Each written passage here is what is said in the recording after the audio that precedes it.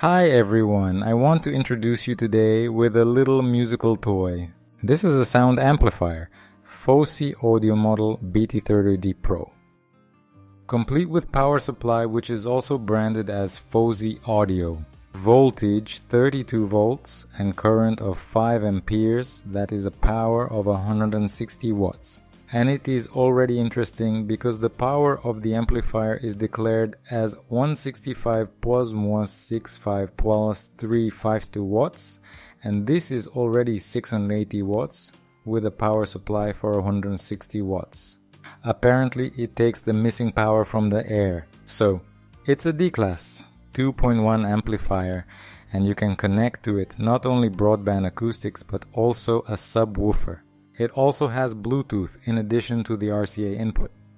Control knobs are volume main, bass, treble, subwoofer volume, and subwoofer cutoff frequency setting, and the power toggle switch.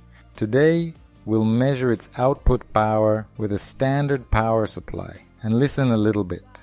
And maybe someone will realize for himself that in fact modern D-Class is ready to compete with classic AB class amplifiers. Here I forgot to tell you, there are two TPA3255, a very good amplifier chip. I had time to listen to it before shooting. The sound is a bit harsh to my ear, but very and very detailed.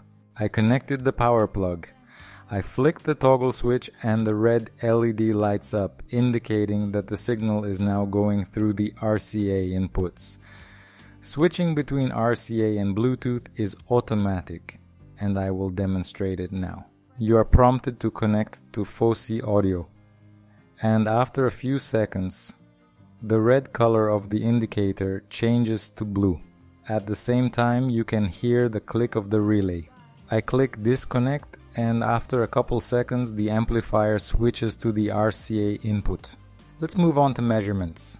The signal frequency is 1000 Hz. I apply power and immediately notice quite strong noise.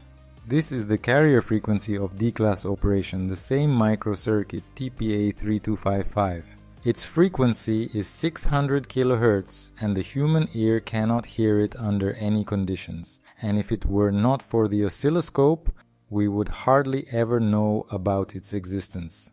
I mean, when listening to music, the amplitude is a little over 1 volt, and as if that's a lot, but let's see what happens when you turn up the volume.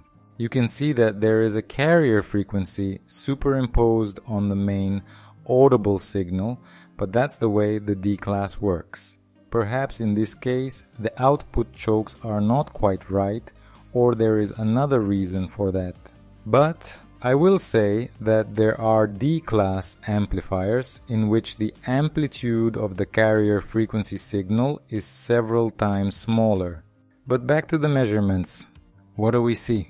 At maximum volume, the RMS value of the output signal is only 11 volts, and this is little, very little. At the same time, the smartphone is at full volume but there is no distortion of the output signal. It turns out that there is not enough gain, or more likely it is artificially low, so that the power supply power was enough to feed two TP3255 chips. Having played around with the tone block, the maximum we managed to achieve at 1 kHz is 12.8 volts and if we use a calculator, we will see the figures far from the application in the description of this amplifier. It's only 40 watts per channel. Let's see what is hidden under the black aluminum case. We can see a well-assembled board. The radiator is attached with one screw. Here, apparently, there is one and the second injection molding machine. The capacitors are 2200 microfarads each, 50 volts. The tone block uses NE5532 operational amplifiers. All potentiometers are 50 kilo ohm. The power toggle switch, and it is not installed, on the power tracks, but most likely on the standby pin. Firstly, it is very far from the power connector, and secondly, you can see that on the power supply wide tracks capable of withstanding a large current. And on the toggle switch come thin less than a millimeter of tracks. The very relay that switches either RCA or Bluetooth next to it is actually located Bluetooth chip. The chip is called ATS2853 and it's pretty good. Apparently, in fact, used components not just for sound transmission, but for high quality sound transmission. Well, and most likely, yes, it will have cooling issues. Personally, this is what I would do. The case here is not ventilated and all the heat generated by the radiator stays inside creating a greenhouse effect. It would be logical to use a material with good thermal conductivity as found in automotive electronics. Create a contact between the heatsink and the amplifier case Thus, the amplifier case will start to fulfill the function of a heatsink. But I may be wrong, maybe the Chinese have thought of everything. Let's listen to a little bit of copyright-free music.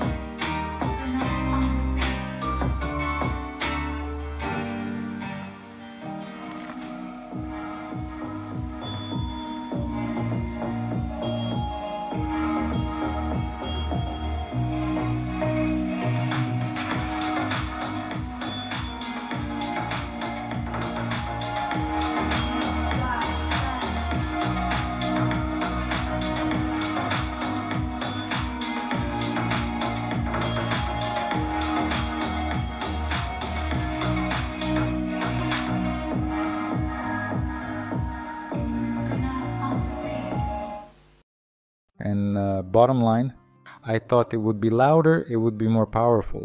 But a friend's oscilloscope convinced me otherwise. But then again, what's the best way to find it? No background, no noise.